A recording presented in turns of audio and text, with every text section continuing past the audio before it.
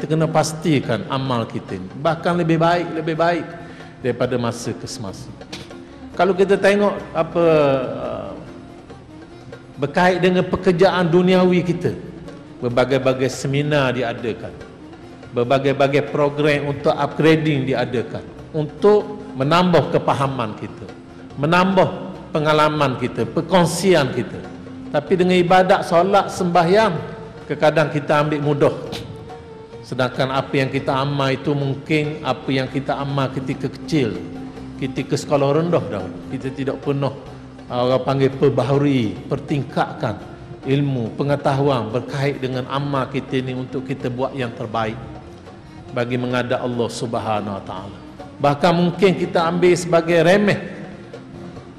Kerana kita dah dari kecil dari dahulu kita tidak mengabaikan ibadat solat kita anggap mungkin perkara itu remeh tetapi inilah yang menjadi perkiraan dan perhitungan. Hatta yang melibatkan kepimpinan sendiri.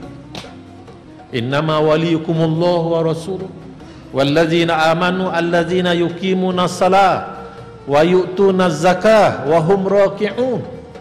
Pemimpin kamu adalah Allah dan Rasul. Dan orang-orang yang beriman dari kalangan kamu. Mereka yang mendirikan sembahyang mereka yang menunaikan zakat. Hablum minallah wa hablum minan nas wa hum raki'un. Mereka yang rokok patuh kepada apa yang diperintahkan oleh Allah dan meninggalkan apa yang menjadi tegahan dan larangan serta melaksanakan syariat Allah Taala di atas muka bumi kalau itulah garis panduan sebagai seorang pemimpin yang kita pilih yang perlu kita nobakkan apatah lagi sampai kepada peringkat grassroots, peringkat bawahan dan sebagainya. Semua membawa agenda yang sama. Kerana itu jangan menganggap mudah.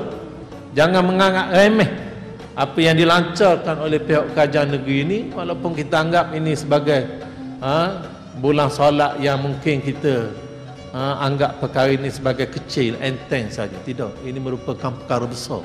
Ini merupakan perkara, perkara asas dan ini merupakan sumber kekuatan ummah Islam itu sendiri